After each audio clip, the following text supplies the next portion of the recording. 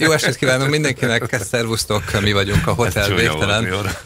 És most kezdődik zenés magazin műsorunk, aminek a címe az, hogy... Hotel Végtelen. A szóismétlés, ez egy király dolog. Ez az első műsorunk, elnézést mindenkit, egy picit csapongó lesz. Persze, Ketten vagyunk jelenleg a stúdióban, lehet, hogy emiatt problematikás. Igen, Vilmát leverte lábáról a kór, úgyhogy innét is jobbulást kívánunk neki ahogy ma tehát javaslom, és a, és a, a kalapkúrát, ezt nem akarom kifejteni, hogy micsoda.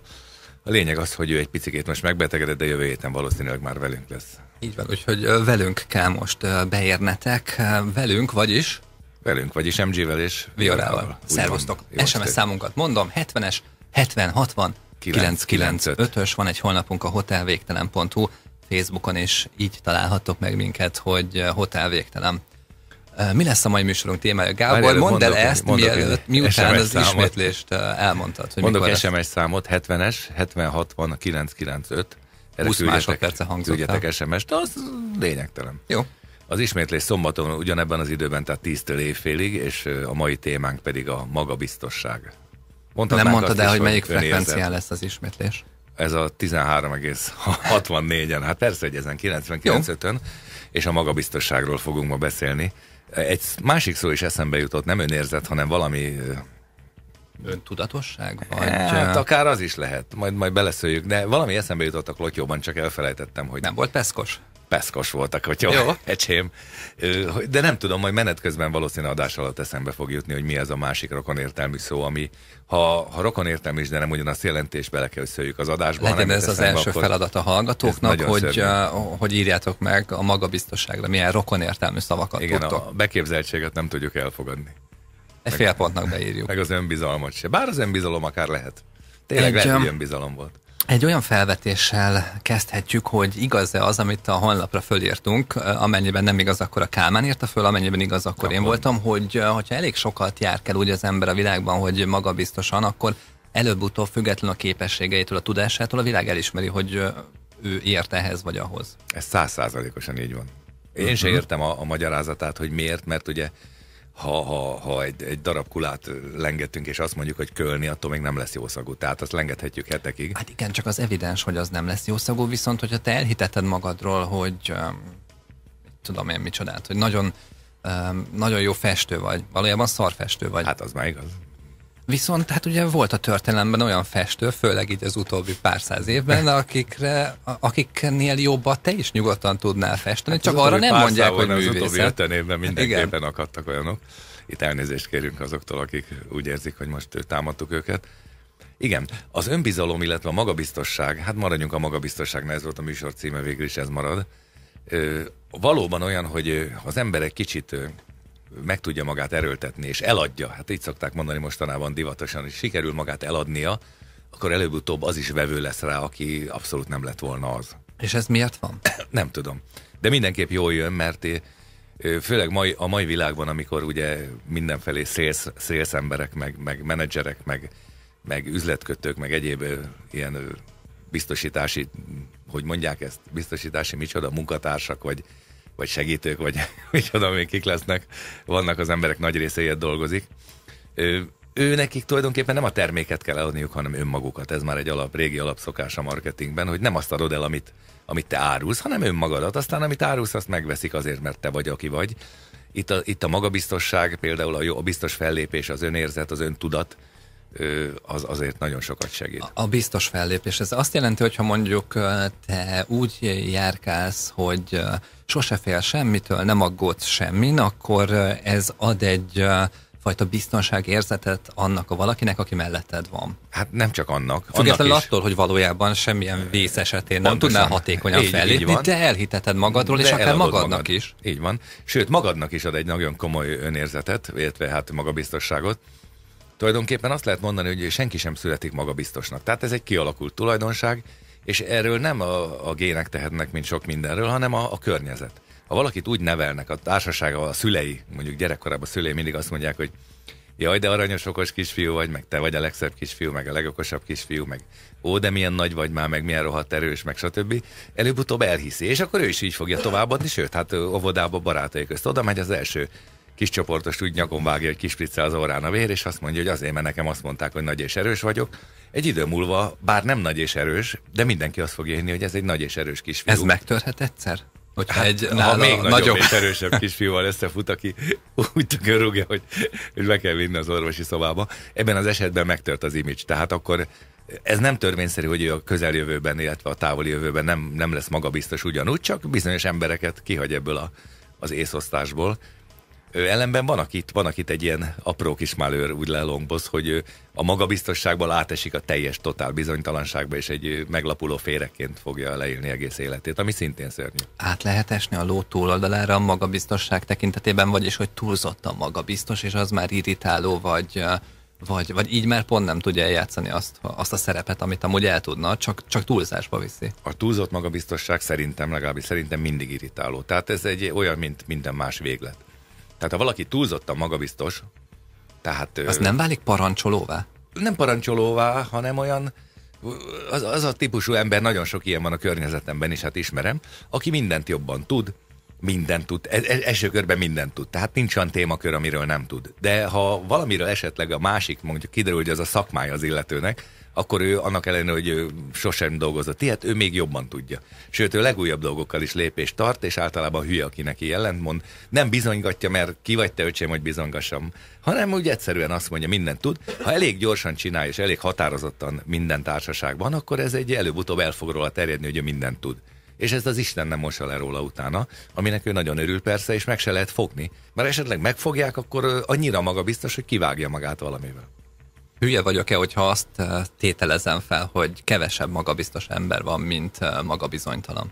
Hát szerintem, szerintem jóval kevesebb van. Szóval kéne több, több, mert lenne rá igény. Tehát, hogy az emberek azért nem, nem Viszont tipikusan ak- akkor ezek szerint, aki ezt az ipart űzi, hogy magabiztos, ő nagyon nyerekben van, tehát még annál is jobban, mint amennyire lehetne, hiszen hát kvázi ritkább, mint az, aki, aki bizonytalan, és hát vonzóbb is. Kvázi annyira nyerekben van, hogy, hogy gyakorlatilag mindenféle érdem és, és és pozitívum nélkül eléri azt, amit más egy kevésbé magabiztos ember csak szívós, verítékes munkával. De lehet, hogy ugyanannyi tudás van mögötte, lehetséges, és mégis. vagy kevesebb vagy kevesebb. Egy példa, például, mit tudom én, srác kap egy autót, és megszerzi jogosítványt, körülbelül két hónapos jogosítványa van, tulajdonképpen nem nagyon tud vezetni. Hát állapítsuk meg, két hónap alatt nem nagyon sikerül olyan rutint kialakítania. Beül mellé a nagymamája, a nagyi, aki mondjuk 113 éves, és mennek, és a nagyi, ahelyett, hogy félne, ha mindig úszolja az urokát, hogy gyerünk kis unokám, nyomja a közé. Hadd száguljunk, lovagjon a haja, mit tudom én. Van önbizalmat az uncsinak, hogy az rögtön kiló húszal benyom a Szentendrei úton, neki mennek az oszlopnak, ma, mami kiugrik a szélvédőn, és már is a magabiztosságnak annyi, mert ugye lemészárolta a saját nagymamáját. Ha hogy nem, egy ilyen életszerű példát mondjuk. Mert ez azért minden nap előfordulhat. Tehát itt magabiztosság áldozata lett a nagyi, mert ugye ő úszolt a szerencsétlen kisunokáját, aki azt se tudta, melyik pedált kell megnyomni, de ő jó szándékkal megpróbálta rávezetni, hogy tudsz te vezetni kis bogaram, nyomjad csak neki, hát tapost ki a szemét neki, és akkor persze ez lett belőle. Tehát mindig figyeljünk arra, hogyha embereket biztatunk, tehát magabiztosságot próbálunk beléjük önteni, meg, meg próbáljuk visszadni az önbizalmukat, ami esetleg elveszett, felelősség van rajtunk, mert esetleg túllövünk a célon, és akkor az illető átesik a ló másik felére. Na nézzük az üzeneteket. Azt érte nekünk Noséma, hogy kutatások azt igazolják, hogy a bizonytalan ember figyelme befelé önmagába, önmagára irányul, míg a magabiztos kifelé, és ezt szerencsére azért lehet tanulgatni. Persze. Tanulható egyébként a magabiztosság? Hát ha nem is kifejezetten direkte tanulható, de, de mondjuk így, hogy változok. Tehát hogy mondja egy jó szót. Nem tanulja az ember, hanem ő alakul, a környezete alakítja. Tehát gyakorlatilag passzívan, de tanul. Talpra esett? Mármint szinonimája a, a magabiztosságnak. Ez nem biztos. A talpra esett ember nem törvényszerű, hogy, hogy magabiztos, ellenben minden szituációban feltalálja magát. Ennek ellenére nem biztos, hogy állandóan birtol vele, hogy, hogy ő mennyire jó, meg mennyire szép, meg ennyire ügyes, csak nehéz helyzetben kiderül, hogy alkalmas rá. Azt mondja, hogy az izom és az edzés magabiztossá tesz. Ezt tanúsítom. Nem minden esetben. Tehát, ha lelkileg valami nincs rendben, és meg van recsenve az ember, akkor járhat edzésekre, hogyha a fejében nem tett rendet. Hát akkor úgy van belőle. Minden üzenjük a stúdióból, akkor... Lehet, hogy beteg vagyok, meg hülye, de legalább jó nagy darab. SMS számunk 70-es, 70, 60, 995. A most hallható műsor esetleg sértheti egyes hallgatóink lelki, politikai, szexuális, gasztronómiai vagy vallási érzékenységét. Ezen hallgatóinkat kérjük... Ö... Találjanak ki valamit! Kérjük, találjanak ki valamit. Na, hello, hallgatók, folytatjuk a Hotel Végtelent. A magabiztosság a mai műsorunk témája, és volt egy felvetésünk a szünetben egy bulival kapcsolatban, egy képzelt bulival kapcsolatban. Így van, így van. Tehát ugye azt mindenki tudja, hogy a buliban, ha, ha végül is egy normális a buli, ott azért nem két-három ember van, hanem megfordulnak 20-30-an egy... Akár még 40 is. Már hallottam olyanról is. Na most ugye óhatatlan, hogy vannak idegenek, már úgy idegenek, hogy egymást nem ismerik, hát több társaság verődik össze, és akkor mindenki ott mutatkozik befelé, óra, balra, meg parolázgatnak, meg beszélgetnek. És hát mind, minden bulin előfordul, hogy mennek magányos gazdátlan lányok és magányos gazdátlan fiúk is. Nekik valószínű, hogy elsőrendű szempont lesz, hogy valamiféle numerát összeüssenek, vagy aznap estére, vagy esetleg partner találjanak, kinek milyen a habitusa. Ilyenkor rettenetes előnyben van az az ember, aki magabiztos. Ha lehet, hogy módosítok, nem is, hogy nagy előnyben, hanem mondjuk egy igen előnytelen külsejű, kicsit fostestű, majomarcú fiatalember, óriási Pont, önbizalommal, akár mondhatnánk a Kálmánt is, na azért nem, nem annyira rossz, de egy rossz. És egy, és egy igen jó svádályos nájdik, de szellemileg nem túl erősen megáldott és kicsit introvertált fiatalember közt. Gyakorlatilag nagy különbség egy bizonyos pontig nem lesz. Mert az egyiket azért szúrják ki a, a magányos hölgyek, hogy jóképű, meg, meg esetleg jól néz ki.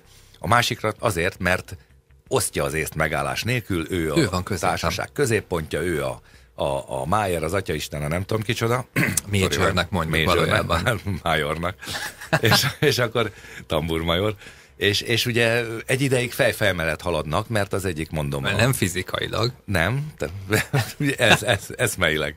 Aztán a lányok valószínű, hogy habitustól függen döntenek, hogy most kell nekik a kicsit málé jóképű, hatalmas, feltétlenül hatalmas erekcióval bíró fiatalember, akinek, és ezzel vállalják azt az ódiumot, hogy esetleg összejönnek vele, és akkor egy ilyen majomkával mászkálnak fel alá az utcán, aki mondjuk mutogatni lehet, meg repizni lehet vele, de társaságban az ember nem vinné, mert nem tud megszólalni. Avagy viszik a, a, a vizuálisan féreg jellegűt, aki viszont óriási arc, és eladja magát mindenhol. Én, én nem is kell, hogy féreg jellegű legyen, hát csak nem magabiztos. Tehát tényleg egy introvertált valaki, aki ettől függetlenül lehet okos is, meg... A féreg jellegűt a, a magabiztosra értettem. Ja. A magabiztosra értettem, aki külsőre nem annyira domináns, tehát nem, egy, nem egy alfahím, tehát egy teljesen jelentéktelen figura, akivel azért az utcán nem lehet pucolni. Tehát mész vele kézen fogva, egy félfejjel alacsonyabb, mint a nő, úgy semmi extra. nem is nagyon akarnak pucolni az utcán szerintem így ilyen szinten. De azért ismerek olyat, aki szeret villogni a pasiával. Mondjuk ez inkább a férfiakra igaz. Nincsen itt ugyan, de mondjuk, hogy a Vilmáról beszélsz. Ö, igen, például Vilmát is említhetném. De most róla nem beszélek, mert ő beteg, és betegről csak jót vagy semmit, majd megbeszéljük vele jövő héten. De a, igen, a férfiakra jellemzőbb inkább, hogy szeretnek repizni a, a nővel, és nem nagyon érdekli őket, hogy az a nő, legalábbis egy nagy részét nem érdekli, hogy az a nő per pillanat szalonképes-e beszédben vagy viselkedésben, bármi, mert jól nézzen ki, a haveroknak az bejön.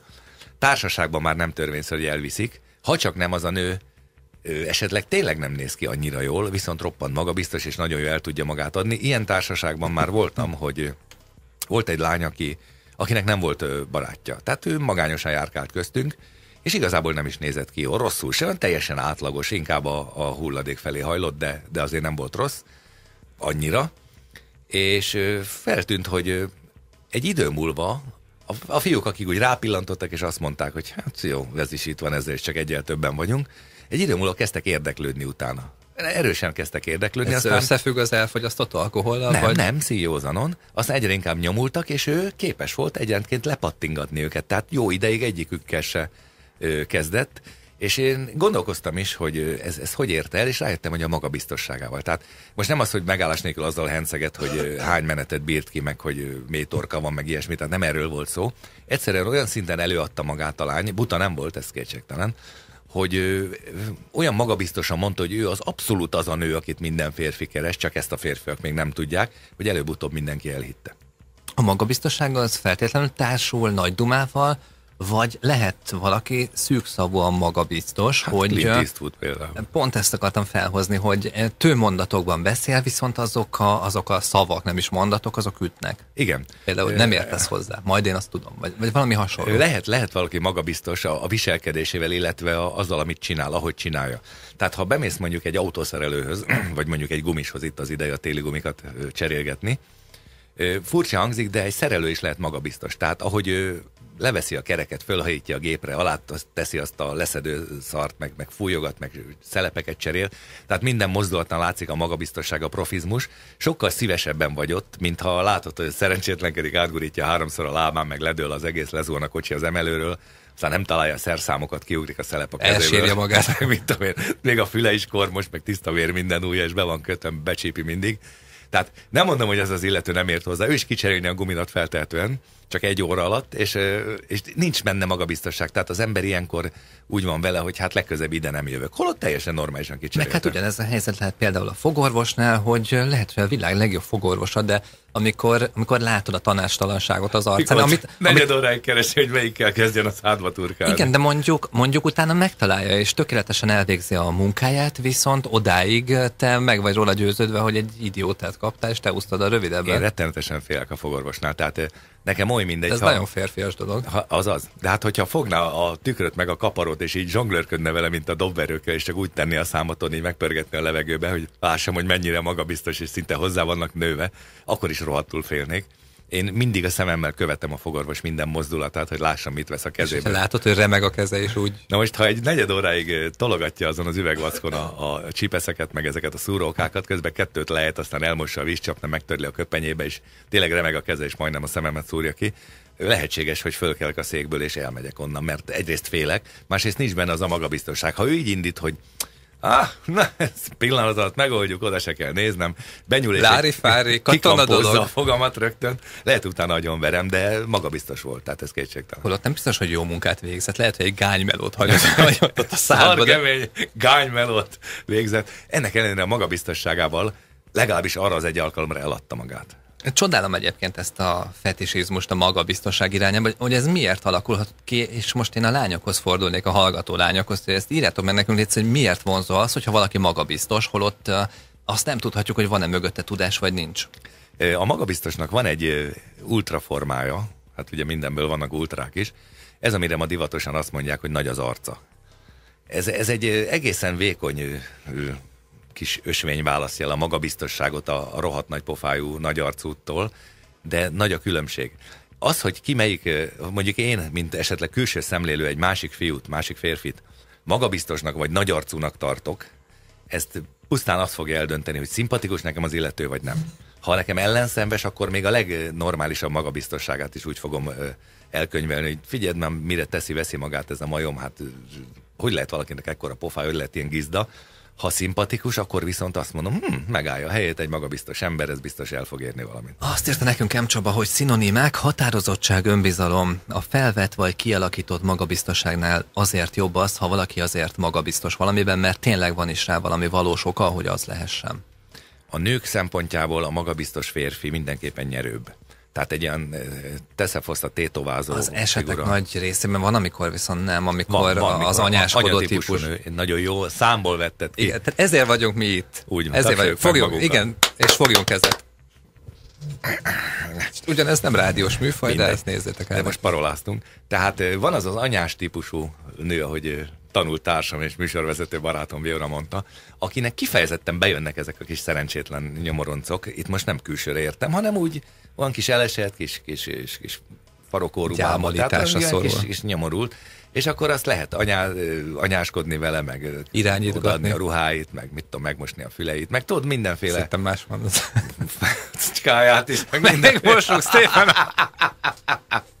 Tehát le lehet csutakolni, meg, meg, meg lehet etetni, ami, ami teljesen normális, csak van, aki úgy van vele, hogy ha ezt nem csinálhatná, nem kéne neki az a pali. És akkor ez a szerencsétlen ember, aki lehet, hogy magabiztos lény is lehetne, ennek ellenére úgy van vele, hogy hát most megkapok mindent, hát akkor hova erőltessem a dolgot. Lehet, hogy ettől még egy nagyon rendes fickó, és nagyon boldog kapcsolatban élnek. Pusztán a külvilág számára úgy tűnhet, ha ezt ők esetleg tudják, hogy ez a szerencsétlen, hát nem tud a sarkára állni, hát, hát ő, ő otthon a szoknyába járkál, mit tudom én, mert annyira kis szerencsétlen papucs.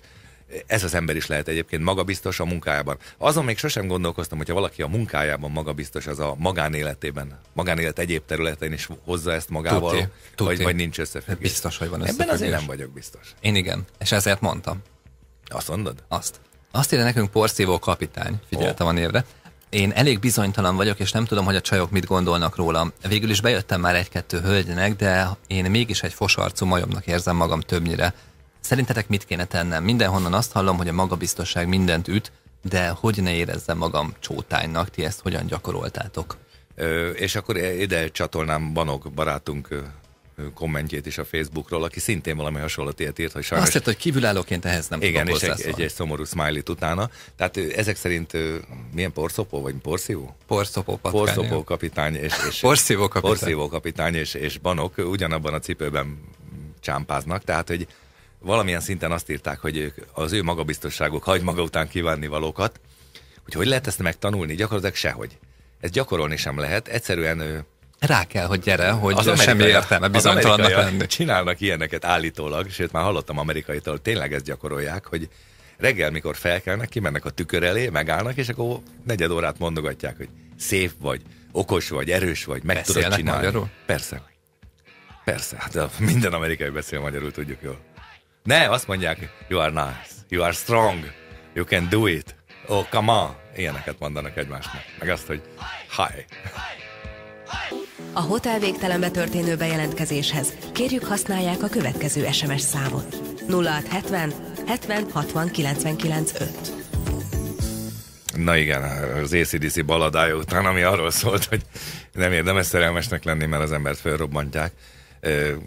Térjünk akkor az első randira, ami ugye egy megszokott vonala szokott lenni a, ennek a műsornak. Távoztak páran, azért csak integettünk, és kicsit elvonódott a figyelmünk. Köztudott, hogy mi férfiak csak egy dologra tudunk figyelni, tehát ha én integetek valakinek, akkor közben nem tudom, mit mondok. Amúgy se nagyon, és ez nem is kell Segítek egy szituációs. Ja, ja, igen, valami na. az első randin. Igen. A magabiztosság hogyan eh, teheti jobbá a dolgokat, hogyan szúrhatja el az ember a dolgokat a magabiztosság segítségével, illetve hogy milyen dolgok történhetnek egy magabiztos, illetve egy bizonytalan ember első randiján. Gábor?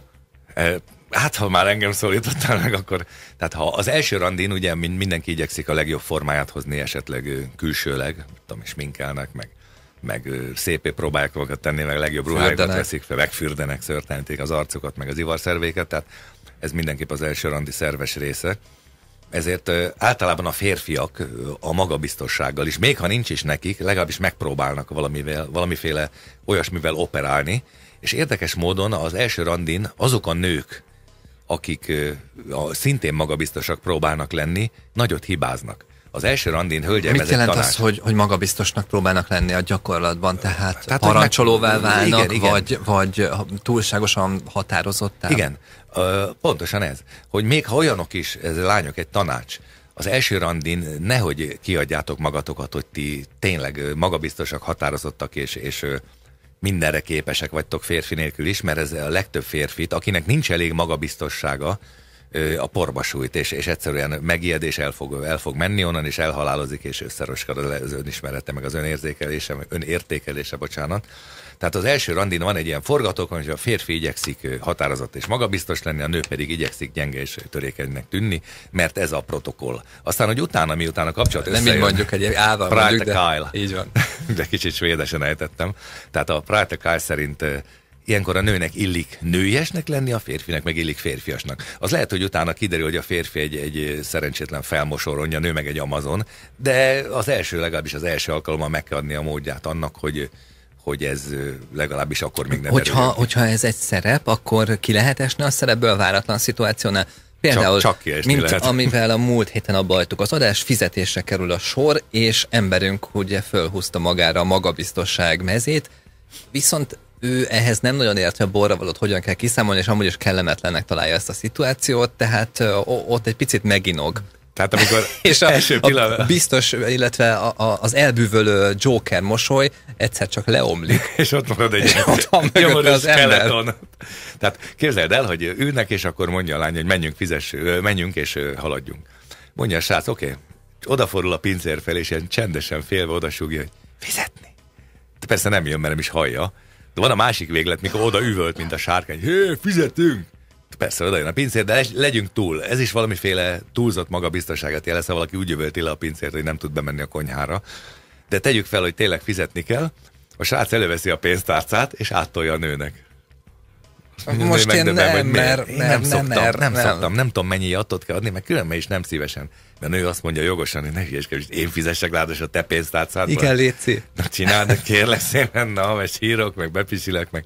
Tehát ez, ez, ez mondjuk egy kicsit végletes forma, de, de ehhez hasonló szituációk előadódnak. Tehát ha valaki iszonyatosan útál fizetni, nem tud hozzászólni senkihez, nem tudja pincért megszólítani, remeg a keze, mikor kimondja, hogy mit kér, akkor, akkor is erőltesse meg magát. Egyébként nagyon jó, a hölgyeknek ismét egy tanács, meg lehet figyelni, hogy, hogy a férfi magabiztosságának az első jele, hogy mikor rendel, akkor kire néz. Mert több verzió van. Van, amikor előveszi az étlapot, nem hiszem, hogy nem tudja megegyezni, hogy egy sör. Ennek ellen nézi az étlapot mereven, és mondja, akkor kérek egy sört. De az étlapot nem a pincért nézi, van a másik verzió, hogy a nőt nézik közben, hogy jó, mond, jó mondom, azt kérek szépen egy sört, és így bologat, ugye, ugye? Aztán van, aki, az a maga A normális ember a pincérre A néz. normális ember megnézi az étlapot, becsukja, és felnéz a pincérre, és neki címezi még, hogy ő fogja hozni.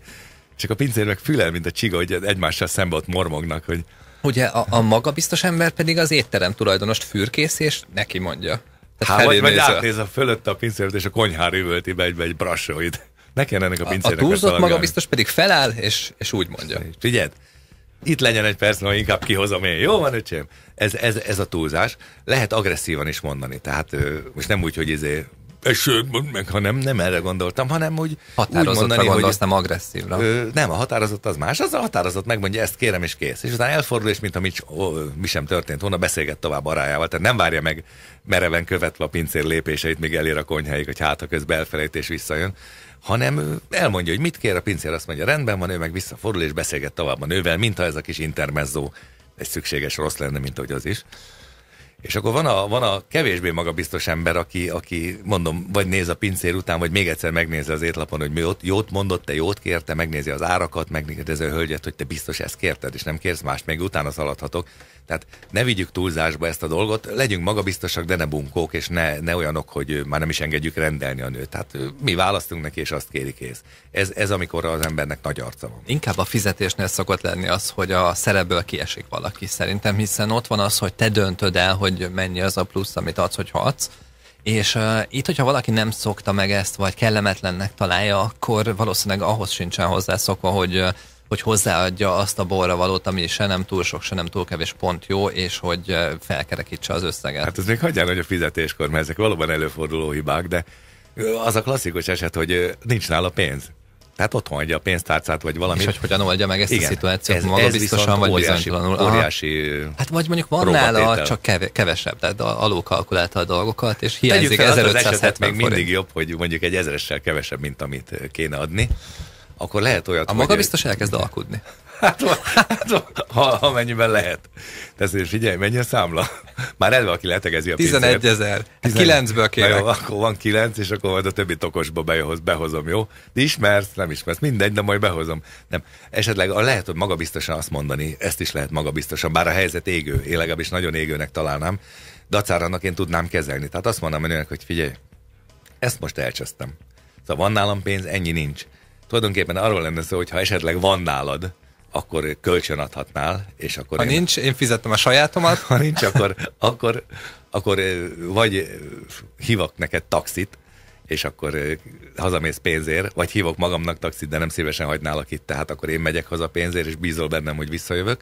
De valahogy ezt maga biztosan rendezni lehet. Ott nem lehet, hogy azt mondja, hogy figyelj, most akkor kérünk még egy-egy kávét, aztán elindulunk pisilni, te bemész a WC-be, és kimászol az ablakon, én is kimászom a férfi WC ablakán, és a izé, Liktóba találkozunk, utána rohanunk a, a villamosig, és akkor két külön kocsiba szállunk, hogy ne kapjanak le egyszerre. Tehát ez, ez, ez nem a magabiztosság, ez Ilyen inkább a sunyiság. sunyiság, de ezt lehet kalandnak felfogni, viszont Há, itt akkor hullhat le a, az álcarolat, hogy a, a pincérek rájönnek, hogy miben sántikál. Jó megverve. És akkor üvöltözöl. A nő volt! Nála van az összes pénzem kizsebel. Nem is, nem is ismerem. Ez egy lotyó, és elment a pénztárcám, vegyék Hajlandó vagyok ellene vallani. Nyugodtan csinálják meg mindahányan, csak engedjenek el. Tehát ez, ez nem a maga, magabiztosság, bár lehet ezt is fegyelmezett arcra, hogy hm, Szóval a kis lotyó megint bajba kevert. Pincér urak, tegyék a dolgukat. Én mintha nem is láttam volna semmit, megígérem. Ne szólj, szám nem fáj, fejem, én itt se voltam. Üssék, verjék, vegyék el mindenét. Ki, ki akart engem fosztani, de ideben megbukott, úgyhogy, és vigyázzanak vele, nagyon veszélyes prosti. És most hiába néz engem fürkész összemekkel, nem és fog sír, meg. de ne dőljenek be neki. Ez, ez egy nagyon veszélyes kígyó. És akkor eh, lehet mondani, hogy magabiztos volt az ember, ezt utána sírva szaladt hazáig, és, és elköltözik, hogy ő meg ne találja a bátyjával együtt, de de mondom, a magabiztosság inkább a normális megoldások ö, ö, megfelelő kezelése. Tehát lehet úgy is kezelni valamit, hogy megoldja az ember, csak közben sír, vagy mit tudom én, összepisíl a nadrágát, vagy akkora foltok lesznek a vonalat, mint Dél-Afrika. A, a hisztéria az üti a magabiztosságot? Tehát mondjuk magabiztos ember az nem, nem szokott hisztériázni? nem, persze. Hát de végül is nem biztos, hogy egyértelmű a válasz, hiszen hát lehet valaki úgy magabiztos, hogy amúgy hiszt is. A hisztéria maga annak a jele, hogy az illető nem bízik abban, hogy az ő, ő érveit, az ő gondolatmenetét a, másik fel tudja fogni, illetve attól tart, hogy az illető rögtön tesz egy olyan kifogást, amivel összeborul az ő taktikája.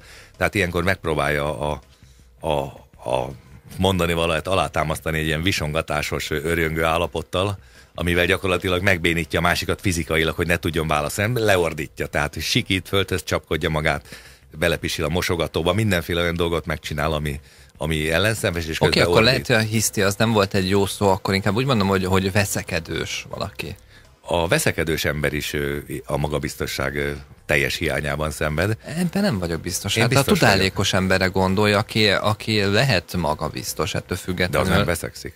Az Ez elmondja nem az érveit, biztos. és várja az Ez, ez ellenérveket. szerintem korán sem biztos. Itt megoszlanak a véleményeink. Hát majd a hallgatók eldöntik. 70-es, 70, 60, 995. Én azt hiszem, hogy aki veszekszik, az valamiféle érvhiányban, illetve, illetve a magabiztosságnak valamilyen szintű hiányában szenved, és ezt próbálja alkalmasint agresszivitással, vagy legalábbis valamiféle számára határozottabbnak tűnő fellépéssel kompenzálni, és sose jön be. Én például a veszekedő embert általában ott hagyom. Tehát velem nem lehet veszekedni túlzottan, mert én azt mondom, jó, hát akkor nyugodtan üvöltöz, majd jövök. És ott hagyom, mint a szarot. Azt írta nekünk Csaba, hogy Stét, nekem úgy érzem, van önbizalmam, szerintem nem sok rendben. Az edzés, a sport igenis nagy önbizalmat ad. Nyilván a csajok is azt csipezzek, ha egy hapsinak van önbizalma. Nem hinném, hogy a kettő összefügg, hogyha valakinek a munkában van önbizalma, akkor annak a magánéletben is tutira van. Halleluja, Csaba. Halleluja. Tehát ez, ez, én még mindig, bár te is ezt mondtad, Gringo, de én, én mindig nem értek ezzel egyet, hogy, hogy akinek a munkában van önbizalma, annak a magánéletben is van. Miért mondom, ezt kérdezhetnéd joggal? Miért mondod? Azért mondom, mert a munkában való önbizalom az tulajdonképpen a, a szakmai gyakorlat, a szakmai tudás, vagy esetleg a megszerzett profi rutin. Tehát egy, egy, egy olyan ember, aki a szakmáját mesteri szinten csinálja, teljesen mindegy, mit dolgozik, annak minden mozdulatából árad a, a, a tökéd, a profizmus, a, a szakmai tudás. Tehát ránézésre azt mondhatod, hogy hatalmas önbizalommal bármilyen munkát magabiztosan elvállal, mert tudja, hogy meg tudja csinálni. Ettől ő még a magánéletében lehet egy olyan szerencsétlen kis toportján. Hello, Léci, tegyetek fel újabb adásokat a honlapra, az eddigieket már negyedszerre hallgatom újra, plusz már a partizánbáros adásokat is pótoltam, üdv ö, Színanból, ha jól olvasom. Az a helyzet, hogy ezt sajnos egyelőre nem tudjuk teljesíteni, akadoznak az adás feltöltések, majd egyszerre fölrakunk egy olyan jó négy hónapnyit. Bízunk benne, hogy ez hamarosan Ez nem sokára meg megtörténik. fog történni egyébként. Uh, azt hiszem, nem hiszem, hogy mindegyiket négyszer meghallgattad, mert van 80 feltöltve, persze. Ha. Fizikailag lehetséges, csak um, akkor, akkor az elég Ha beteges. persze szeret minket ez az ember. Igen. Uh, Mrs. Mia lesz üzenet a következő, azért ne keverjük össze a magabiztosságot a nagypofájúsággal. A magabiztos embereket azért kedveljük, mert isteni érzés, ha nem kell valaki helyet dönteni folyton. Ez az anyás babusgatós dolgot én sosem értettem, gondolom az élvezi, akinek túl nagy az önbizalma, mint ahogy a túl nagy arcú férfiak is szeretik rövid pórázon eligazgatni a gyengébb akaratú és önbecsülésű barátnőiket. A, tulaj, azt, a tapasztalat azt mutatja, hogy a, a nagyon nagy önbizalommal, illetve magabiztossággal bíró emberek általában egy náluk jóval gyengébb karakterrel jönnek össze. Ennek megvan az a sajátságos oka, hogy, hogy kerülik azt a lehetőséget, hogy az, a másik, tehát a partnerük egy, egy kis, kis részt üssön ezen az erős pajzson. Tehát ha már egy emberrel együtt vannak, akkor legalább az ne feltételezhetően az ne támadja őket. Amit Mrs. Mia Wallace mondott, abban azért annyiban nem tudok egyetérteni, hogy olvas még egyszer szó szerint, hogy... Ja, biztos. De tényleg. Na, melyik részét? Az a második hagyna. részét. Jó, gondolom, az élvezi, akinek túl nagy az önbizalma, már mint ezt az anyáskolás, babusgatás dolgot, mint ahogy a túl nagy arcú férfiak is szeretik rövid pórázon eligazgatni a gyengébb akaratú és önbecsülésű barátnőiket. Igen, ez a túl nagy arcú férfiak. Ugye mondtam az előbb, hogy, hogy ez a magabiztosság és a nagy pofa, meg a nagy arc, meg a, meg a ez nem ugyanaz. Érdekes, pici, pici mesdje van köztük, de nem ugyanaz. Én mindig csak azt mondom, és itt sajnos nem a nők ellen szólok, akivel meg lehet csinálni, hogy irányítsák és rövid porrázra fogják, azzal meg is kell. Én ezt mondom. Tehát itt, itt, itt nem arról van szó, hogy én most sajnálok egy nőt, mert, egy, mert a pasia megmondja még neki azt is, hogy hogy öltözzön meg. Mert hogy majd én megmondom neked, hogy milyen ruhát veszel fel, meg hova megy, micsoda, akivel meg lehet csinálni, mert annyira bamba szegény nő, csinálják meg vele, meg is érdemli. A most hallható műsor esetleg sértheti egyes hallgatóink lelki, politikai, szexuális, gasztronómiai vagy vallási érzékenységét. Ezen hallgatóinkat kérjük, Ö... Találjanak ki valamit! Kérjük, találjanak ki valamit. Itt vagyunk ismételten, folytatjuk a Hotel Végtelen című műsort a nagy szünet után. Több komolyságot. Gábor, a magabiztossággal folytatjuk. 70-es, 70, 60, 995 az SMS számunk. Nézzük, hogy miket írogattatok nekünk hát nézzük, a szünet alatt. Nézzük. Szép estét, jó a műsor, és királyok a zenék is. Üdv, Szabász, köszönjük, köszönjük szépen. szépen, ajánljuk magunkat. Mik voltak a zenék a nagyszünetben? Nagyon jó a műsor. Gábor, te tiszted azt, hogy elmondta, hogy mik voltak a zenék a nagyszünetben. Aerosmith volt, azt hiszem a Lavin and Ha így mondanánk. Rész, most így mondjuk. Igen, Aerosmith. Illetve Green Day-től a When I Comes Around, Come Around, vagy valami hasonló. Hasonló? Hát hasonló. Jó, oké. Okay. Mindegy, Green Day volt és uh, Eurosmith.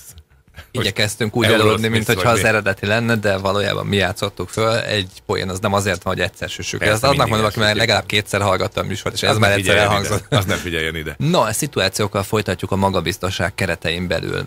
Ugye hát az ember magabiztosságát akármennyire tagadjuk, valamennyire a külseje befolyásolja, nem is kicsit. Hát valamennyire ez egy enyhe kifejezés volt.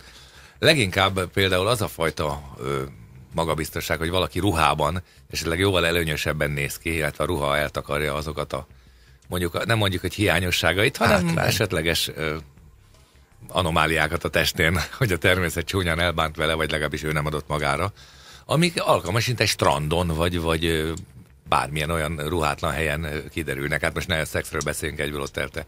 Elvileg mindenki ruhátlan, legalábbis elvileg, de ez, ez egy későbbi fordulat. De tegyük fel, hogy megismerkedik egy, egy férfi ember, meg egy lányember, és, és megbeszélik, elpresszozgatnak, úgy ki is jönnek egymásnak, hogy ki is néznek valahogy, vagy be is jönnek egymásnak, bocsánat, nem kijönnek, bejönnek, és megbeszélik, ki is jönnek hogy, egymással. Így akartam mondani, így van. És megbeszélik, hogy következő héten, tehát a legközelebbi randi alkalmával elbalagnak együtt a strandfürdőbe. Tegyük fel, nyár van, milyen szép dolog ez. Kimennek a strandra, tegyük fel, hogy a férfinek, illetve mondjuk a nőnek tényleg jó alakja van. Tehát nincs rajta kifogásolni való, elfogadható a formája, jó a fürdőruhája, stb. Tehát tudja, hogy ő strandon azért egy olyan azon, akire úgy, úgy ráfordulnak, legalábbis nem pöknek, ha elmegy előttük.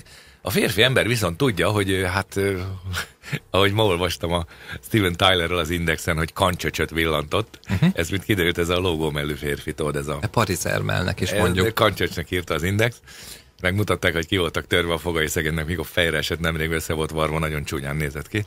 Ő énekelt az előbb egyébként, nem a Green Day-ben, hanem az előző együttesben. Tehát eh, a férfi ember tudja, hogy eh, bizony neki lesznek eh, kívánni valók, amiket a ruházata eltakart. Tehát mindenképpen happy, egy handicappel indul a... Mm, kéz és sapka, hogyha valaki nem beszél indul a strandon. Ezt mindenképpen önbizalommal, illetve magabiztossággal le lehet küzdeni. Tegyük fel, hogy kijönnek mind a ketten az öltözőből, és találkoznak a pokrócnál. A lány ugye kecsesen végig lehet a strandon, egy néhány férfi utána is fordul már, aki mer, és megérkezik hősünk is, a férfi ember, aki hát kicsit... Pocakot gacs, kicsit, kicsit pocakosan, kicsit gacsos lábakkal. Csálén rajta a fecske fürdőnadrág. Kancsöcsökkel, irdatlan herékkel, minimális pénisszel, ugye, amit jó ki, kirajzol a lastex fürdőgatya, megjelenik a törőközön. Ugye a nő nem nagyon fogja tudni titkolni, hogy mikor végigméri, hogy hát he, he, he, érdekes forma vagy. De ilyenkor azt mondja egy, egyrészt magában, hogy hát most jó, az, ha már kim vagyunk a strandon, most nem állok fel rögtön, és nem megyek haza. Egy jól magabiztos ember, egy jól magát, mit tudom én, promotáló magabiztos ember, fél órán belül el tudja sütni, hogy ő tulajdonképpen egy marha jó kinéző kisportolt férfi, csak most ezért néz ki így meg úgy. Hogy hazudik-e? Elképzelhető, hogy hazudik. Lehet, hogy olyanokat mond, ami nem igaz. Tehát azt mondja, hogy mit tudom én, amúgy rohadt erős vagyok, mondja a férfi. A nő nem tudja, hogy ezt mire véje, mert hogy hogy jött ez most szóba, hogy ki erős, ki nem erős. És mondja a férfi, hogy tulajdonképpen tavaly, tavaly volt egy hosszabb betegségem, Előtte indultam a Mr. Magyarországon, egy picit visszaestem, mert ugye nem tudtam rendesen edzeni, heti hétszer edzettem mindig napi négy hát, órát. Most amire te beszélsz, a nyilvánvaló hazugság. Nem biztos, mert bizonyíthatatlan. Tehát a nő azt mondja, hogy mivel ugye meg nem látott olyan Mr. Magyarországot, aki egy, egy évet kihagyott, tehát gondolja, így néznek ki azok, akik kihagytak egy évet. Tehát és mikor rákérdez bizonyos dolgokra, akkor a férfi maga biztosan igazolja, hogy igen, én nagyon erős vagyok, ha akarnám ezt is meg tudnám emelni, akarnám azt is meg tudnám csinálni, ha már erőről van szó. Tehát végül is valamilyen szinten el, elsüti magát önbizalommal, illetve magabiztossága, hogy tulajdonképpen jó néz ki. Most, hogy így néz ki, mint egy teliszart buváró, ez egy, ez egy átmeneti állapot, és tulajdonképpen... Szerintem nem így jönne elő a magabiztosság emberünkből, hanem biztos, hogy nem kezdene össze-vissza hazudni, hogy őt hazudozónak hívják, és nem magabiztosnak. Inkább, inkább lódít. Aha, nem ugyanaz, két külön fogalom. Igen. Hanem, hanem egész egyszerűen nem vesz tudomást arról, hogy másnak feltűnt az ő kancsöcse, és tényleg lehet, hogy nem érdekli, hanem, hanem úgy éli az életét, hogy én így nézek ki, viszont kit érdekel, és ez, ez, ez viszont átragadhat a másikra, hogy tényleg, hát ha őt nem zavarja, nem veszi tudomásul, hogy, a, mert, hogy nem veszi tudomásul a nőnek a, a, a, az arckifejezését, nem veszi tudomásul, hogy most csúfon megbukott, legalábbis ahhoz képest, amit ruhában mutatott, mert a legtöbb férfi tisztában van vele, hogy, hogy mik azok a hiányosságai, amiket a ruha eltakar, és amúgy nem. Tehát úgy van vele, hogy kiül mellé, és ugyanabban a stílusban, abban a magabiztos esetleg lehengerlő stílusban folytatja a beszélgetést, következetesen kisanyámnak szólítja a nőt, meg, meg megpróbálja megcsókolgatni a háta közepén, tehát mindenféle olyan dolgot. Na kenjed le a hátam szépen. és akkor nem lesz, vigyázz, kőporos lesz a kezed, de az elég szarduma, de, de mondjuk ilyen. Tehát odaadja a napolajat, hogy ha gondolod, lekenheted ezt a testet, csak nehogy mindenki irigyeljen a strandon. Ez hülye jön ki, poénnak egyébként jó, és ha a nőnek van egy kis humorérzéke, akkor talán még el is röhögi magát, hogy hát jó, akkor lekellek. Vagy hogyha más strand, ezt megszokhatjátok, kedves hallgatók, hogy többnyire egy az évszakhoz illő példákat hozunk föl. Tehát, ha már strandról beszélünk, akkor mondjuk a lány hívhatja úszni a srácot, illetve előtte megkezd, tudsz-e úszni? Csak mondja, hogy hülye vagy? Persze, hogy tudod, ne szórakozzál, és amikor az új fullandi kihúzta a partra, akkor... Megkapta a légzését. Akkor, akkor azt mondja, hogy Hát begörcsölt a lábam. Én, én is ezt szoktam egyébként régen mindig mondani. Tehát való igaz, hogy például vegyük, a, vegyük az úszást, tényleg kimennek, és akkor kérdezi a lány, hogy ugye a magabiztos férfitől, aki a presszóba előadta, hogy végül csak azért nem indult az olimpián, mert már fiatal volt, még vagy gyerek hozzá, hogy hát akkor menjünk és úsztunk egyet. Én minden vasárnap úszom mondjuk 50 hozt, és oh, menjünk. Én 51-et. Jó, azt mondja, akkor én leúsztam én is az 50 aztán majd megvárlak a büfében. Jó, kicsim. És mondja a nő, ó Istenem, micsoda férfi, ez még ott fogok nagyjából evickélni, miközben már végigúsztam, mint a vidra, és ott vár a büfében. Beugranak a medencébe, bemásznak a medencébe mondjuk. A férfi a félpályánál párat kapálózik, aztán buborékokat fújva emerül, úgy... A környezetében úszó gyerekekre támaszkodik, hogy ne süllyedjen A kötélen végig kapaszkodik a végén, nem tud kimászni, hát kihúzzák négyen. És akkor valóban azt fogja mondani, hogy hát régen érdekes, sokkal jobban ment, most begörcsött mind a két lábam, az örülök, hogy csak a marhaerős karémnak volt köszönhető, hogy pusztán kéztempókkal ki tudtam úszni. Hát ne haragudj, majd legközelebb. Aztán szót nem, nem került többé szóba a dolog. A nő elkönyvelheti, hogy hát a fickó elég magabiztos volt, mikor a vizet említették, aztán kiderült, hogy gyakorlatilag annyit tudna úszni, hogyha kiesne a csónakból, akkor, és bele tudna kapaszkodni, akkor nem halna meg rögtön. Tehát elkönyveli, hogy ez, ez így sikerült. Ennek ellenére, ha a férfi tényleg igazán magabiztos, akkor ez, ez, ez, nem, ez az apró kis malőr nem fogja hátráltatni abban, hogy továbbra is ugyanúgy ossza az észt, és ugyanolyan mondjuk így kicsit fellengzős dolgokat mondjon magáról, abból kiindul, hogy minden csak nem fog kiderülni. A magabiztosság párosul többnyire fizikai erővel? Mire gondolok, kérdezhetnéd? Kérdezem. Arra például, hogyha mondjuk megbeszélik, hogy a, a srác segít a költözésben a lánynak, és egyszerre viszik a cuccot, de a, a srác az nem nagyon bírja legalábbis, egy idő után egy idő után látszik, hogy vagy fentebb tartja, hogy a lányra menjen a súlypont, vagy pedig lentebb, mert már egész egyszerűen nem bírja felemelni. Viszont ugyanúgy viselkedik, mint eddig, csak láthatóan fizikailag nincsen a toppon, ettől függetlenül a dumája ugyanaz, a magabiztossága megmarad. Kérdezem, hogy megmaradhat-e ezek után hitelesen? Itt kéne Nosem a üzenetére visszautalnom, aki azt mondta, hogy a kevésbé magabiztos emberek mindig magukba fordulnak, az igazán magabiztosak pedig kívülre. Egy igazán magabiztos férfi ember ebben a szituációban mondjuk alátesznek egy nagy szekrénynek egy gurtnit. A gurtni olyan, hogy tudod, ilyen megcsomozott uh-huh. kötél, és akkor aki elől van, az, az legugol, a vállára veszi, tehát átveti magán, a hátsó is ö, átveti a vállán, és akkor háromra felállnak mind a ketten. És akkor viszik a szekrényt. Na most ha az történik, hogy a hő egy háromra feláll, hátul a pasi meg összeroskad, mert lehúzza a gurtni, és meg se tud mozdulni. Hát nem, fölemel a nő.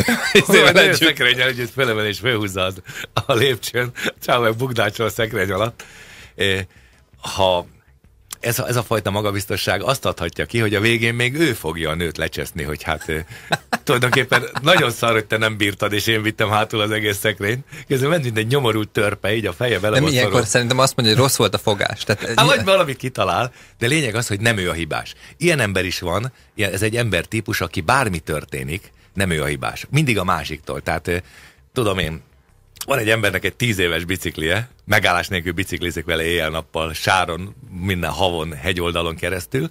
Egyszer kölcsönadja fél órál, akkor eltörik a kormány. Ugye már rég el kellett volna törnie, de hát annál a szerencsétlenné fog eltörni, aki egy fél órára kérte kölcsön a romot.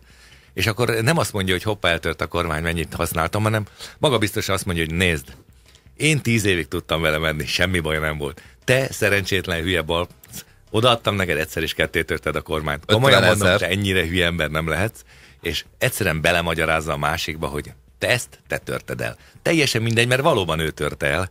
Az egy dolog, hogyha nem adja kölcsön fél óra, akkor neki törik ketté a kezében, és akkor nem tudom, kit fog vele okolni.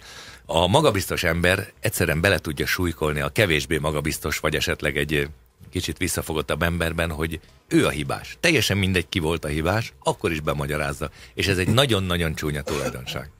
Ezt én a, megvettem. A hiba áthárítás az ide tartozhat. Gondolok arra, hogy mondjuk fönt vannak a srácnál, aki a magabiztos fél ebben a történetben, és úgy gondolja, hogy bűvész mutatványokat fog mutatni. A kiszemeltjének van ez a nagyon elterjedt dolog, hogy három golyót dobál, úgyhogy nem esik le az egy. Biztos láttam meg, zsonglőrködés, így van. Bocsánat, nem vagyok ott. Fővárosi nagy cirkuszt nem szoktam nézni. Zsonglőr, zsonglőr, és igen és mondjuk lejti az egyik viszonylag nehezebb golyót, és eltörik a frissen uh, készített padló, igen, járólap, és ő magára dős, de, de nem is az a lényeg, hanem hogy mondjuk összeomlik, láthatóan fáj ez neki, hogy most egy, őt egy ilyen anyagi kár érte, és uh, idegessé válik, kiesik a szerepéből. Olyat már láttam pontosan ebben a szituációban, hogy egy nagyon magabiztos barátom fölment egy nőhöz, és elkezdett pakolászni, és valóban lehetett egy, segített a nőnek cipelni ilyen, ilyen különböző tárgyakat egyik szobából a másikba egy friss lakásban, és az előszobában kiesett a kezéből egy ilyen bronzszobrocska, és a frissen lerakott béregdrága olasz járólapot egyetén szilánkosra tört, tehát így a közepéből szétfutottak, mint a pókháló. A hölgy elsápott, mert valami horror összeg volt a járólap, mire az illető, aki tényleg egy hipermagabiztos ember volt, semmihez nem értett egyébként, megmesternek hívtuk egy baráti körben, lehajolt, de rezeréstelen arccal kivett egy darab csempét, és mondta, hogy na, de most nézd meg. Azt mondja, itt volt ez a szerencsétlen félhülye iparos, és letette így ezt a marhadrága járólapot, hogy üreget hagyott alatta. Kedvem lenne az egészet felszedni, és az arcába vágni, hogy ennek fizettél ennek a szemétládának, add ide a telefonszámát annak a köcsöknek. Felhívom így veled, nem bánik el. Én majd megmondom neki, és közben szedegette ki a tökéletes elrapott járólaknak a darabjait. A lány pedig sírt. A lány megmondta, hogy Istenem, de tényleg ilyen szarul rakta volna le. Hát gondolod, hogy egy bronzszobort, ami 10 kilós, és leesik, eltörik egy járólap. Hát ennek nem szabad eltörni, hát nem ma kezdtem, mondja az ember. Közben azon gondolkozott, hol, dar- hol tud majd egy darabja járólapot szerezni, és hogy kell ezt lerakni. De végül is megúszta azzal, hogy a lány teljesen meg volt róla győződve, hogy az illetőnek ez a bronzszobor neki pattannia kellett volna, vagy gurulni egy kicsit, nem hogy eltörni, ez a lap szarul van lerakva, és majdnem, hogy felhívta az iparost, mire a srác időben kapcsolt, és mondta, jó, hagyjad, hagyjad, nem akarok botrányt, majd én megcsinálom, hozok neked egy járólapot, nem kell semmit Hozott egy feketét, ami nem is Hozott egy bele. teljesen más színűt, de tényleg egy más színűt, más színárnyalatot, és oda beillesztett a nagy nehezen. Na, az szarul volt lerakva, tehát az alatt akkor a luk volt, hogy kongott. Ellenben az nem, fog, nem tört össze, mert sose léptek többet rá. Tehát ez a magabiztosság megóhatja, mert lehet azt mondja az ember, úristen, én vagyok a hibás, lehetettem. Na, és akkor mi van? Hogyha valaki azt mondja, hogy ő tud bánni a gyerekekkel, és, és tegyük föl, hogy, hogy mondjuk a, a nőnek van egy gyermeke, aki ö, olyan négy-öt éves, és ö, emberünk azt mondja, hogy kis, mit tudom, hogy hívják, kis Kálmán. Kis Kálmánka. Kis Kálmánka, üssél ide a, a Gábor bácsinak a, a combjára egy hatalmasat, nem fog fenni, és a gyerek meglepően erősödött. Ami, De begölcsölsz és elájulsz. mondjuk nem is az, hogy begölcsölsz, nem is a lábára, hanem üss ide az államra, és egy foga megtörik. Kirepel a fog a szádból. Hát most akkor van a magabiztos ember, aki azt mondja, hogy hm, szép ütés volt. Vasgyúró. Lesz De ebből a gyerekből még valami. És utána a fonákból úgy megüti a gyereket, szegényt beviszik a hempába. Ez, ez nem feltétlenül a magabiztosság jele. Van olyan is, hogy azt mondja, hogy mikor a gyereket meg, mikor ott hagyja őket az anya a gyerekkel, hogy ismerkedjen mégis a jövendő belé a gyerekkel, felajánlja, hogy kap egy pofa, üssük egymást pofon mind a ketten, mondja neki, mert jobb játék nem jut eszébe, bizonyos interjú szint alatt. Na, pofozzuk egymást, és akkor a kisgyerek ott bever neki, hogy leröppen, a, leröppen az arcáról a szőrmeg. Elég, ha csak a szemüvege Fűződik, a megtörik. szemüvege elterik. Na most lehet olyat is csinálni, hogy, hogy bemegy, és azt mondja az anyának, hogy kín azt mondja gyereknek, na jó, ilyen hülyeséget nem játszunk, és ezzel vagy mentette a menthetőt, vagy berohan, és azt mondja, hogy a rohadék kölyköd úgy pofán vágott, az betyárját neki, most kifizeted a szemüvegem, meg elmenjünk a fogászatra. Hogy lehetsz ilyen hülye ezzel a leveletlen kölyökkel, mélyhagysz ketten, kettesben. A magabiztosság ilyenkor azt jelenti, hogy egyrészt az ember annyira hülye nincs, hogy pofozó versenyt ajánl a frissen megismert gyereknek, vagy tökörrugó versenyt, mert azért úgy ez is előfordulhat, hanem valamiféle olyasmi dologgal próbálja. Ha valaki azzal virtó, hogy ő nagyon imádja a gyerekeket, és nagyon ért is hozzájuk, és kiderül, hogy fél óra alatt egy szót nem tudott hozzászólni, csak egymást dobálták homokkal. Meg se ismerte, hogy az gyerek. Ez, az egyetlen játék jutott eszébe, hogy beültek a homokozóba, és egymáshoz hajigáltak homokdarabokat, és akkor mind a ketten ropog a fog alatt a homok. Ez tulajdonképpen nem volt túl nagy ember gyerekismeretre.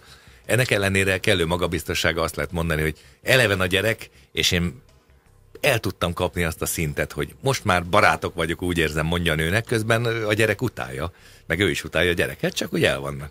Elmegyünk zenén után, azzal fogunk visszatérni hozzátok, hogy ö, ha valaki a fizikai képességeit túlbecsüli, és úgy válik magabiztossá, például ö, tánc, tán, táncolni mennek valahova, és ö, úgy gondolja emberünk, hogy neki nincsen szüksége bemelegítésre, hideg izmokkal és inakkal fog neki a táncnak. Ezzel fogjuk folytatni.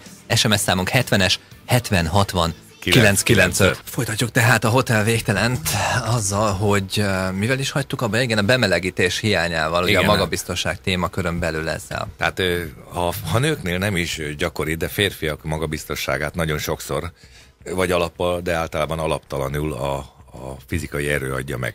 Ugye faluhelyen is most nem degradálni óhajtom, hanem városiakat, tehát ö, a faluhelyen még dívik, hogy a magabiztosságot az adja meg, hogy ki tudja agyorúgni a másikat. Tehát ugye a kocsmában bemennek, és akkor ugye ö, rendszeresen van ilyen, hogy este 10-11 körül elkezdenek kicsit kötözködni, és akkor ugye kellő magabiztossága ki lehet akár a verekedés védeni. Abszolút ö, ambivalens dolog, de annyira erősnek állítja be magát valaki, aki esetleg tényleg nem annyira erős, hogy a magabiztosságával elkerülje azt, hogy jó megverjék. Tehát minden fellépés kérdése, itt jöhet ez, ez a fogalom be, hogy fellépés. Tehát a magabiztossággal együtt jár egyfajta fellépés a váratlan helyzetekben, vagy várt helyzetekben. Érdekes, hogy itt azért kétfelé ágazik a történet, tehát lehet az egyik az, aki annyira agresszív, hogy így kerülik el, a másik pedig annyira nyugodt, hogy így kerülik el, és mind a kettő valahol magabiztos. Hát sajnos a nyugodt embert nem mindig kerülik el. Nem, nem, tehát a már, már benne vannak a szituációban, de a nyugodtsága fogja kimenteni. Ja, lehet olyat csinálni, hogy ha megtudja az ember tényleg annyira magabiztos, és mert aki, aki mikor négyen állnak mellette, hogy hívják ezt a letört üveget? Mit tudom én, a slang szótárban hogy volt? Ja, mindegy. Tehát ö, úgy állnak mellette, és jelzik, hogy most kérezték a belét, és fel, felspulnizzák, és kihajtják az utcára. Ha ezt meg tudja állni, hogy csendben ücsörög, ismét csak Clint Eastwoodi mosolyal nézi Blind őket. Eyes valójában. Blind Eyes Wide mosolyál. ül és nézi őket, és azt mondja, jó van gyerekek, akkor tegyetek le szépen azokat a szarüvegeket, aztán húzzatok vissza az asztalotokhoz, mielőtt nagy baj lesz. Mármint, hogy ne engem húzzatok. hát magatokat. És akkor elméláznak, feltétlenül elméláznak, hogy most ez, ez vagy ennyire tud, és esetleg egy 27 danos karatemester, aki már nézésével meg fog ölni minket, vagy, vagy egyszerűen mondhatnám azt is, hogy a pofátlanságnak beillő helyzetkezeléssel és magabiztossággal esetleg le tudja állítani a, a dühöngő hordát, hogy megmetszék. De vagy az, hogy feláll, megszívja magát, és azt mondja, hogy na, nem is hogy egyenként gyertek köcsögök. Hát megeszem mindent reggelire. Na, gyere, te, gyere, nagy pofájú, gyere, és így magyaráz, magyaráz, közben nézi az ajtót, hogy hol tudna majd kirohanni. Az elsődleges joga a tiéd. Gyere, üss meg majom. És akkor mit tudom, ez is bejöhet. Ez minden a magabiztosságnak egy, egy olyan formája, amit én nem nagyon kultiválok, de néha bejön. SMS-eink következnek. Van olyan, akinek nagy pofája van, még sincs önbizalma, csak így leplezi, mert mint a nagy pofája van. Így van. A nagy pofájúság, főleg a, a, ami társul egy furcsa fizikai dologgal, a nagy hangúsággal, az általában az önbizalom hiányát. Tehát aki jelzi. Tehát aki társaságban mondjuk állandóan azzal próbálja elérni, hogy ráfigyeljenek, hogy leordít mindenkit, és túlüvölt mindenkit, és mindenkinek a szavába belevág, az, az általában egy elég minimális önbizalommal bír, illetve magabiztossággal. Szevasztok srácok, mint mindig most is nagyon jó a műsor. Titeket hallgatni felüdülés egy nehéz nap után. Igaza van Emcsinek, hogy aki hagyja, hogy irányítsák, az meg is érdemli. Olyan is van, aki kiköveteli magának. Én magabiztos vagyok, vagy mégsem? Keresztapa Cseperről. Na, üdvözlöm keresztapát.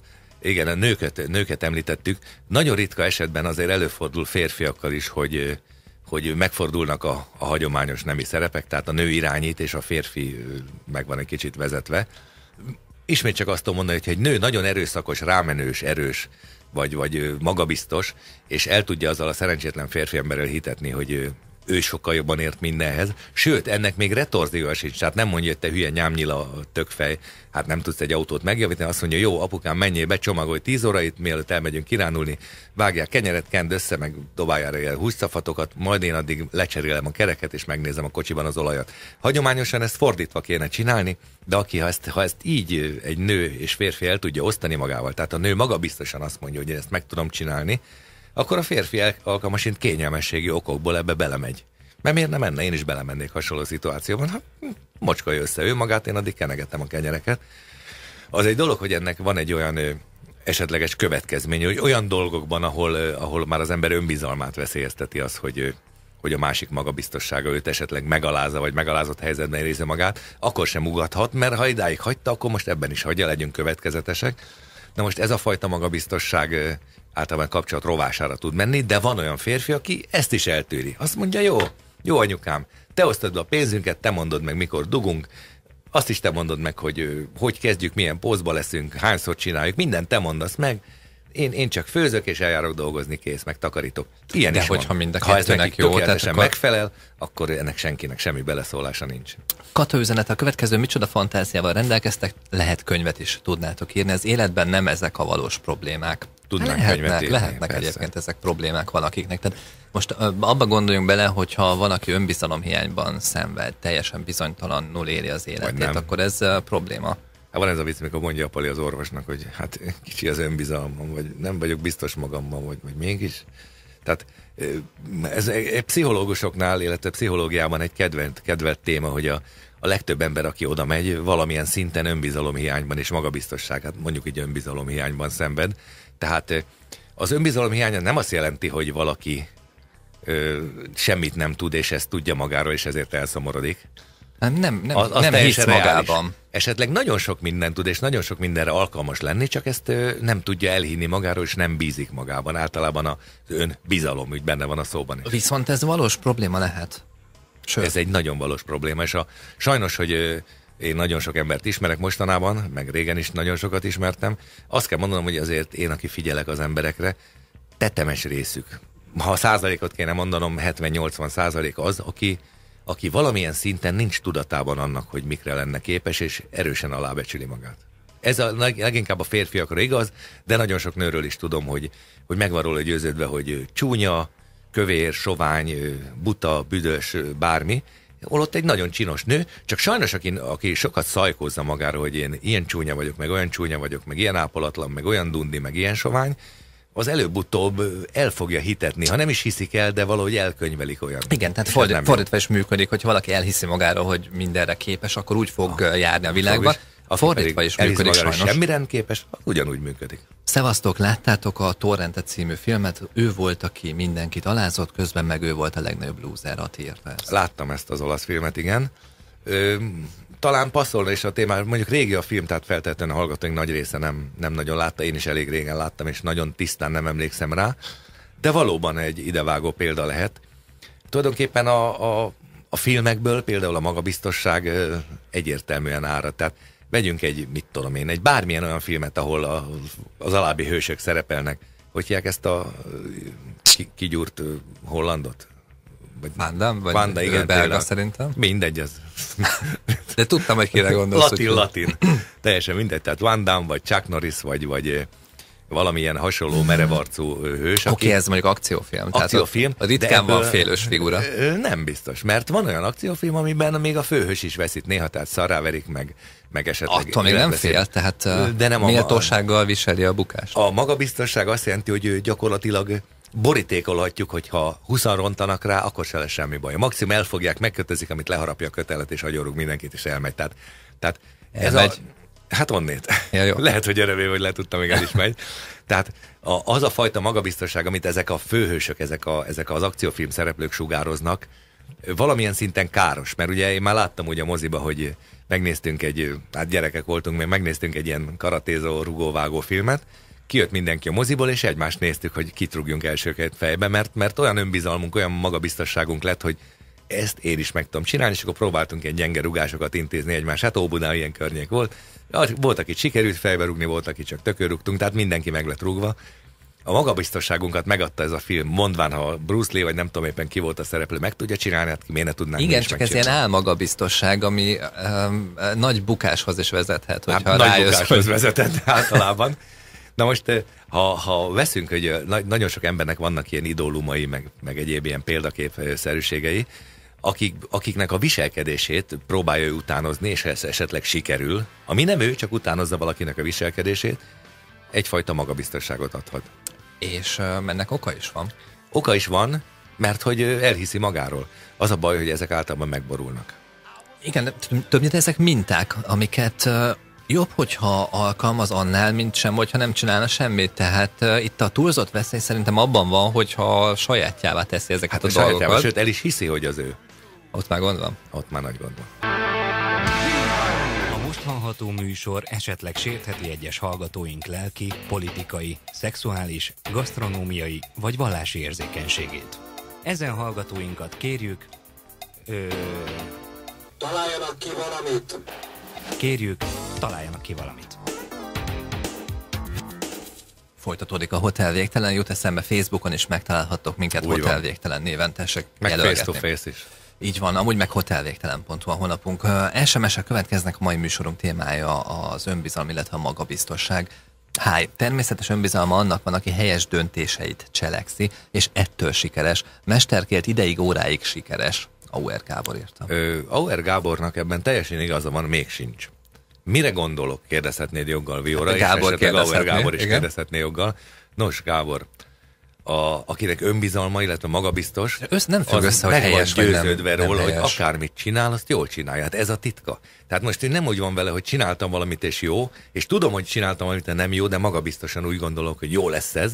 A magabiztos, illetve kicsit túl magabiztos ember eleve akármit csinál, meg van róla győződve, hogy az jó. És ugye ez Vagy ha nem jó, akkor azt, megmagyarázza, hogy Igen, de jó. ez meg nem jelenti azt, hogy valóban jó, amit csinált, Persze, csak hanem ő úgy érzi. De most, ha valaki ezt rendszeresen csinálja, és mindenki mással elhiteti, hogy az jó, akkor, ö, Jóvá akkor, válik. akkor az, az jóvá válik, és akkor az avanzsál arra, hogy ez az ember nem tud hibázni. Holott És fölhozhatnám, ugye az adás elején ezzel kezdtünk, hogyha valaki meg van róla győződve, hogy az ő képei kitűnőek, bár ugyan egy emberi arcot nem tud lefesteni, de különböző Finom. kockákat, meg, meg finom ecsetvonásokkal, kereszteket, meg köröket, meg háromszögeket rajzol rá, hogy ez a modern művészet. Valójában, ha elég sokáig el tudja hitetni a környezetével, hogy ez a mai modern művészet, és a környezete hinni kezd neki, akkor előbb-utóbb olyan kiállítása lesz, ami úgy lesz megkérdetve, hogy a modern művészet úttörője. Új apostola. Igen, Annak és idején lehet, hogy nézegettem 30 év múlva már egy milliárdért fog eladni a festményeit. Ha, ha még életében befolyásos embereknél, illetve bizonyos körökben el tudja hinteni ezek a rohadt jó képek, elképzelhető, hogy nagyon jók lesz. Én most nem akarom degradálni azokat a festőket, akik már nincsenek köztünk, és hót, ótvar képjeik vannak, és mégis milliókat adnak értük. Én most pontosan nem akarok, nem jut eszembe az illető festő neve, hülyeséget sem szeretnék mondani.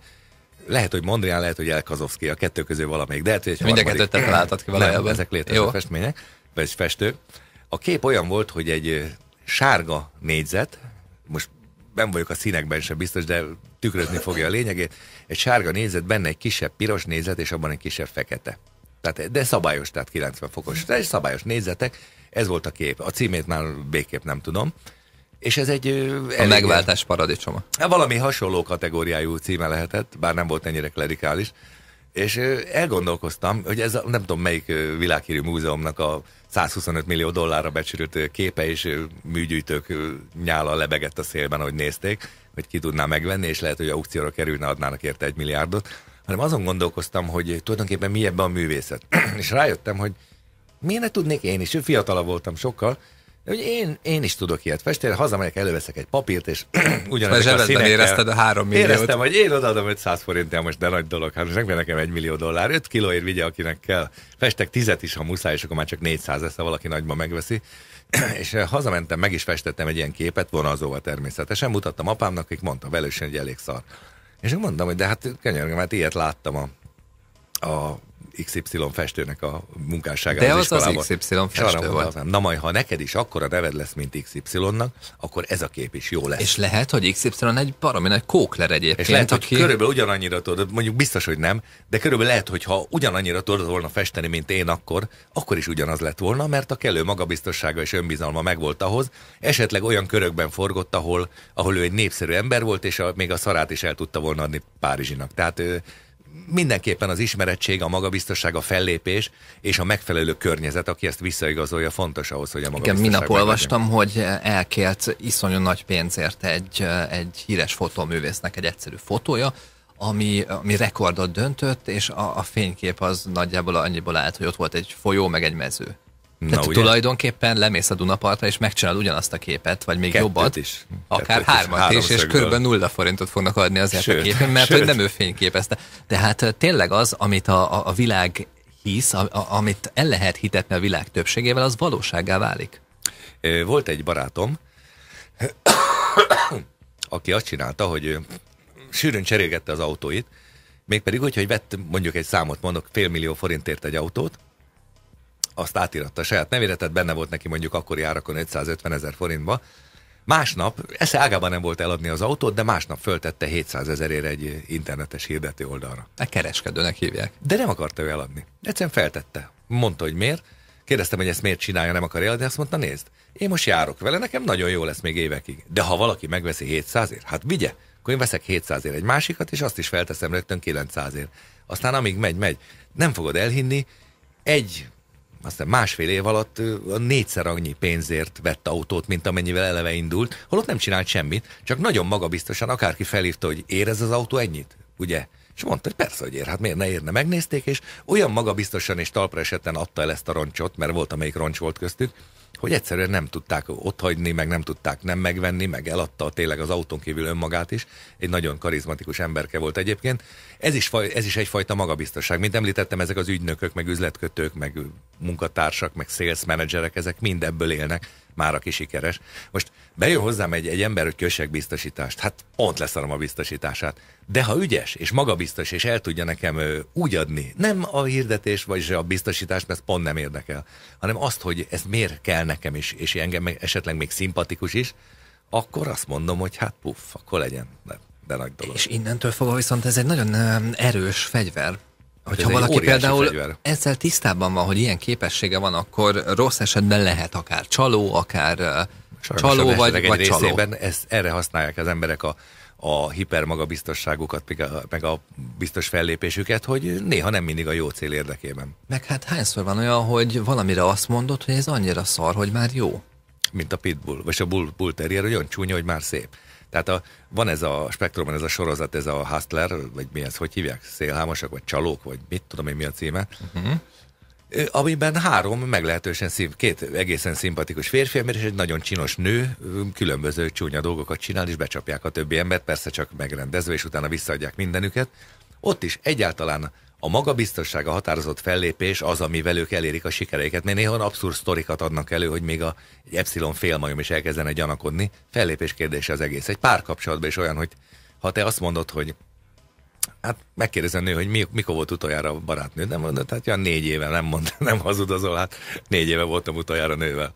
Ah, és miért hagyták ki ennyi időt? Most lehet azt mondani, hogy lesüdöd a szemed, és azt mondod, hát tulajdonképpen azért már senki nem bírta ki velem, meg ö, egyszerűen még ismerkedni sem merek. Nagyon örülök, hogy most eljöttél, és itt is a vizeletembe tocsogok, hogy mikor fogsz felállni és itt hagyni. Lehetne ezt is mondani, mert esetleg ez lenne az igazság. De nem ez a menő. De nem ez a menő, hanem azt mondja az ember, tudod, az a baj, hogy lettek volna jelentkezők bőven. Tehát jobbnál jobbak, meg mondd azt a színésznőt, egy csetteg egy kicsit, na mindegy, nem jut eszem, majd megmutatom a, a Goldberg.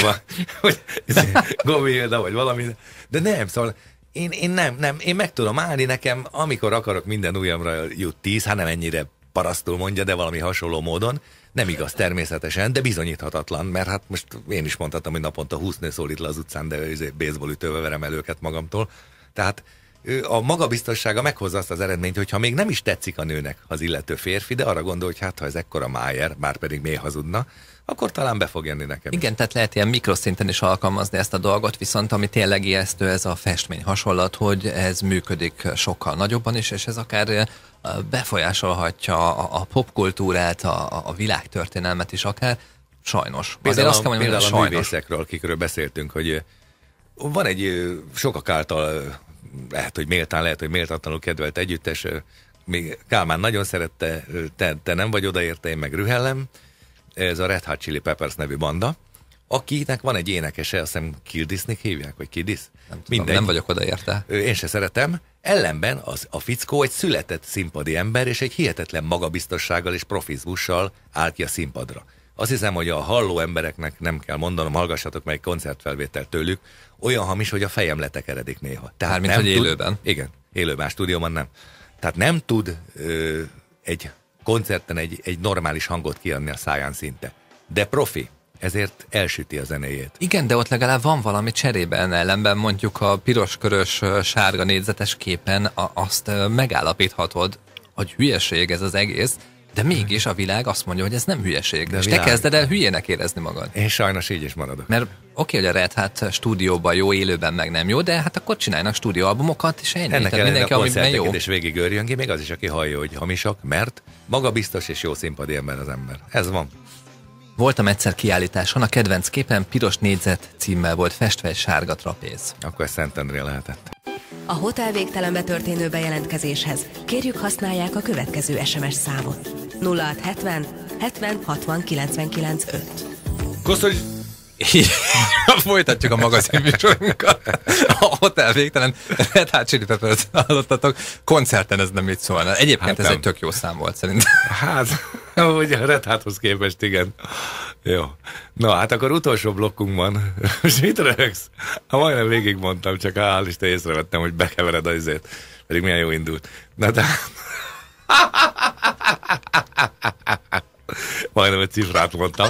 Éppen egy velős káromkodás közepet szakított meg a vilra. No, egy élményemet meséltem. A utolsó blokkot arra használjuk fel, hogy mivel Tanácsokat sokan... adunk. Igen, hát tanácsokat milyen alapon? Egyszerűen csak tippeket adunk meg. Ugye, hogy tapasztalatunkból le tudunk szűrni, hogy, hogy mit, mit kéne csinálni annak, aki esetleg úgy érzi, hogy, hogy magabiztosság hiányban, vagy önbizalom hiányban szenved. Furcsa és abszurd módon esetleg az önbizalom hiányt azért is érezheti az ember, mert nincs önbizalma. Hogy értem ezt? Tehát még annyi sincs, hogy tudja, hogy van-e vagy nincs. Érted ezt a hasonlatot? Vagy nem érdekli a dolog. Olyan nincs, hogy van, akit nem érdekel de, de valóban. hidd el, hogy van. Aki magának való, és Igen, leszarja, hogy van önbizalma, vagy nincsen, nem érdekli. Él, esetleg egyedül otthon, és egész nap Facebookozik, meg számítógépezik. Annak tulajdonképpen túl nagy szüksége nincs arra, hogy magabiztos legyen, mert maximum annyi bátorság kell, hogy legyen, hogy esetleg egy kommentet hozzáfűzzen a saját nevével, és utána féljen, hogy mit fognak rámondani. De azért egy pár olyan tanácsunk lenne, illetve tapasztalatunk, tapasztalati jó, jó tanács, vagy, vagy hogy mondjam, hogy mondjam, tanács. Tanácsok jó, jó ez a tanács.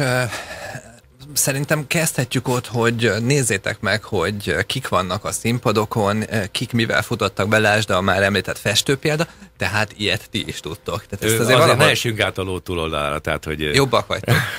hogy azért ne, jobbak nem vagyunk. Szóval én annak idején, mikor megnéztem Picasso-nak a képeit, még úgy gyermekfejjel, akkor rájöttem, hogy hát ez, ez, ez egy elmebeteg, hát egy, egy normális fejet nem tud lefesteni, meg stb. Tud ő? Aztán láttam régebbi képeit, amin megmutatta, hogy végül is ő egy tökéletesen képzett festő volt. Ez már a saját stílusa volt, amitől ő világhírű lett. Tehát neki megvolt az alapja arra, hogy olyanokat fessen, amilyeneket festett de ne ebből induljunk ki. Tehát akinek az önbizalma, illetve a magabiztossága kívánni valókat hagy maga után, az, az első körben tegyen fel magának egy nagyon egyszerű kérdést, hogy mi a bajom magammal, mert azoknak az embereknek általában valami bajuk van magukkal. Ez két dologból indulhat ki, vagy mondták nekik, esetleg többen, hogy ez és ez a gond, vagy ők maguk úgy érzik, hogy ez és ez a gond, és nem mondta nekik senki, ez a rosszabb. Tehát, hogy mikor magától képzeli be az ember, hogy úgy néz ki, mint egy, mit tudom én, széttaposott tatárkucsma olyan a feje. Senki nem mondta, sőt, mindenki mondja, hogy figyelj, egész jó képű vagy, de hogy, de hogy, de hogy egyszerűen magába súlykolja, hogy ő csúnya vagyok. Ez ergo csúnya embernek nincs barátnője, vagy ha van, az is csúnya, nekem csúnya nő nem kell, tehát akkor azt mondja, meg jó nem jut, pedig jutna, ezáltal magában roskad, egyedül marad, és soha nem lesz senki mert egyszerűen nem tudja elfogadni magát, ahogy van. A kevésbé magabiztos, illetve önbizalomhiányos emberek, akár férfiak, akár nők, nem a külvilággal van nekik bajuk, egyszerűen magukat nem tudják elfogadni. És amíg ez nem fog menni, addig sajnos ebben az állapotban Illetve maradnak. elképzelhető az is, hogy az lehet a probléma forrás, hogy túl sokat foglalkoznak olyan gondokkal, amik valójában nem is gondok, és gondát teszik őket. Például a saját külsejükkel, túl nagy az orrom, jaj, de hülye vagyok meg. Igen, pontosan. Hát az, hogy jaj, de hülye vagyok, az már egy bizonyos fajta mentális... Ja nem, hogy az orrom túl nagy, ja. tehát hülye vagyok. Tehát, hogy ja. beleképzelik, társítják Igen, a problémákat. Sajnos, hogy legtöbbször a, a külsőből indul ki az önbizalom hiány, hiány, nem mindig alaptalanul, de annyira, annyiban azért nem mindig alapos, hogy, hogy egyes emberek hajlamosak túlspirázni a dolgokat. Tegyük fel, hogy a fiatal ember összejön egy hölgyel élet első barátnőjével, és aki már azért már volt fiúval, és akkor lenyomnak egy, egy, egy numerát, amit a srác úgy érzi, hogy egy numerának minősíthető, de tapasztalata és, és egyéb hiány úgy kiderült, hogy hát ez egy elég szem, ahogy Kálmán mondta, annak idején nem maszatolás volt csak, most egy jó indulatú és, és kedves és normális nő ezt nem mondja a szemébe. De előfordulhat olyan nő is, aki azt mondja, hogy tudod, úgy érzed, hogy most szexeltünk úgy? Hát nagyon tévedsz, mert te próbáltál valamit, én nem éreztem semmit, úgyhogy ha ilyen vagy, akkor nyugodtan ásd el magad, mondja. Mondja a nő jó indulattal, vagy esetleg rossz indulattal, és ott hagyja a szerencsétlen férfit, akit körülbelül tíz évre tett gyakorlatilag impotensé, ha éppen egy ilyen lelkitípusú férfi ember. Ne hallgassatok rájuk. Ö, általában itt is igaz, hogy ha valaki nem tud hibázni, és úgy dönt, hogy ő nem tud hibázni, és mindig más a hibás, tehát akkor az önbizalma meg a magabiztossága, az úgyis rátok fogja verni a balhét. Nem csak a balhét, de mást is. Tehát ha valaki egy, egy, kijön egy szexuális kapcsolatból úgy, hogy úgy érzi, hogy nem nyújtott túl nagyot, plusz még a személykezés vágják, akkor már érdemes elgondolkozni azon, hogy talán esetleg a másikban volt a hiba, vagy a másikban is volt hiba, tehát semmiképp se ássuk el magunkat, ez ugyanúgy nőkre, mint férfiakra is vonatkozik, és ez nem csak a szexre igaz, mindenben igaz az életben, hogyha ha, ha túl sok helyről kapjátok meg, hogy valamilyen rossz, ez rossz, az rossz, ezzel ne az önbizalmatok meg a magabiztosságotok essen be a porba, hanem vagy igaz, és akkor ha már ennyien mondják jó indulattal esetleg, akkor érdemes rajta megpróbálni változtatni, gyakorlatilag mindennel lehet változtatni, vagy esetleg irítségből mondják, azt is érdemes megnézni, hogy ki mondja, jó akaró, rossz akaró, fiú, lány, konkurencia, bármi. Illetve hát nem biztos, hogy azoknak van igaza, akik egybehangzóan állítják sokan, hogy neked nincsen igaza. Tehát elképzelhető, hogy ha ragaszkodsz az elveidhez, igaza. akkor onnantól fogva te vagy sinem.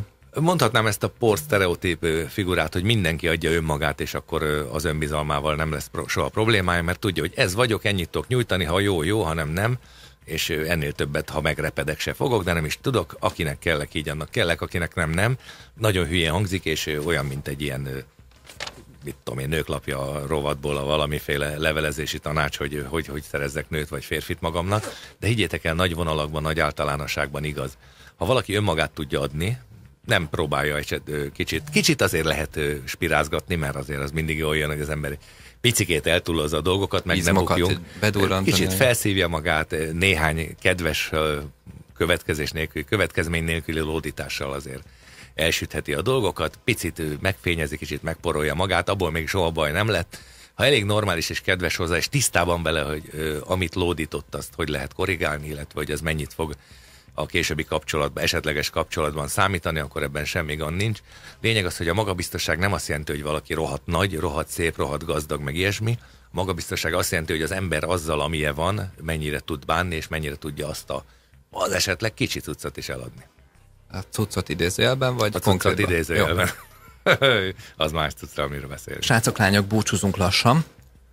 Most egy pár perccel korábban technikai okokból, viszont élőben legközelebb jövő héten kedden találkozhattok Már velünk itt. Vilmástól. Már Vilmástól a 99,5-ös MHz-en a Rádió Q frekvenciáján. Amennyiben hiányoznánk, akkor hotelvégtelen.hu a honlapunk teljes letölthető adásokkal, illetve a Facebookon is ott vagyunk, Hotel Végtelen néven jelölgessetek minket. Meg az arcunkat is nyugodtan. Az arcunkat is, illetve az ismétlés mikor van, Gábor? Hát, na még egyszer akkor elmondom, de csak nektek, csak most, szombat este 10 órától éjfélig, és szombaton egy órától, ha már valaki rádiónál van úgyis, tehát délután egy órakor, ebéd után lesz egy blues kocsma, egy jó barátom csinálja, hallgassátok meg. Blues Plaza. Blues Plaza, bocsánat. Igen. Semmi gond, még a Kultrajz blogot, mert még van Van a kultrajz.blog.hu, és mi a másik? hotelvégtelen.blog.hu. Igen, és uh, ne felejtsük el, hogy egy rendhagyó művészeti kezdeményezést is felkaroltunk, a kultvers.blog.hu-t. Ezeket a blogokat nézzétek, mert szerintem a, a Facebookon ezt megtaláljátok a Hotel Végtelen oldalán mindent, mint hogy a mi pofánkat is.